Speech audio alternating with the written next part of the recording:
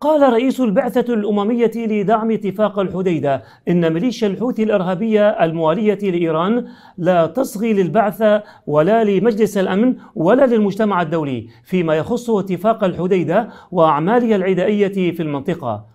وأوضح خلال لقائه بأعضاء السلطة المحلية في الخوخة بالساحل الغربي إنه بالرغم من رفض الميليشيات الحوثية الإصغاء للبعثة أو المجتمع الدولي فإن هناك مفاوضات تجرى حاليا مستدركا للتحديات الكبيرة أمام مسار السلام. وقال إن مهمة البعثة مراقبة الخطوط الأمامية ووقف إطلاق النار وما يتعلق بنزع الألغام مشيرا إلى أنه ليس بمقدور البعثة أن تفرض على الحوثي ماذا يعمل. وحول استغلال ميليشيا الحوثي اتفاق ستوكهولم وتحويله موانئ الحديدة بوابة واسعة لاستقبال السلاح من إيران. قال رئيس البعثة إن الرقابة على السفن الداخلة إلى موانئ الحديدة ليس من مهام البعثة وإن على البعثة ضمان تدفق السلع الغذائية إلى موانئ الحديدة فحسب.